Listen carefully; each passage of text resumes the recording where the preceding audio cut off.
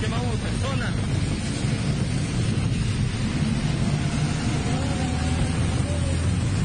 Son de la granja de ahí de Santa Cruz.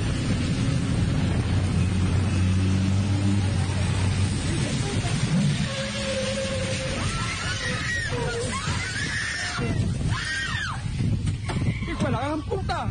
¡Páralo!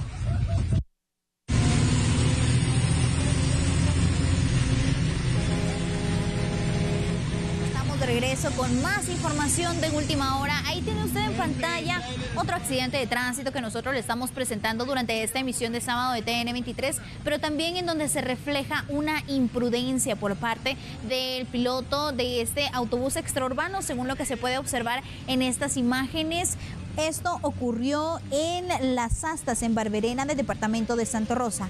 El conductor de este autobús intentó rebasar al piloto de un tráiler, no pudo y terminó encunentado.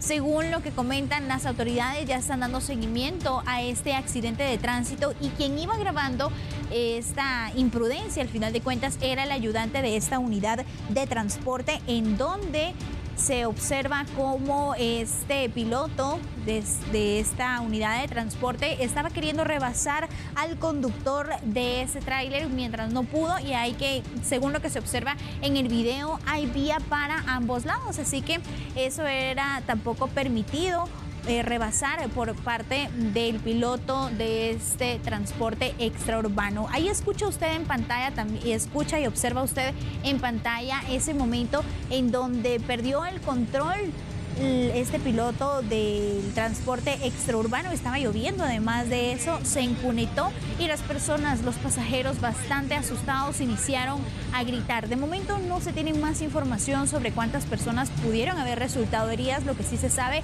es que los socorristas están en camino para poder ayudar a las personas que hayan resultado afectadas en este accidente de tránsito. Muchas veces se observa que esto ocurre en distintas carreteras. Hay pilotos que pelean muchas veces el pasaje o bien cometen este tipo de imprudencias, querer rebasar cuando no se debe hacer, especialmente en esos lugares en donde hay doble vía y en algún momento podría colisionar, por ejemplo, con otro piloto que venía, por ejemplo, de frente. Sin embargo, de momento se tiene la información que este piloto se incunitó y nosotros vamos a estarle actualizando los datos. De momento se sabe que son varias personas que resultaron no solo heridas, sino con crisis nerviosa.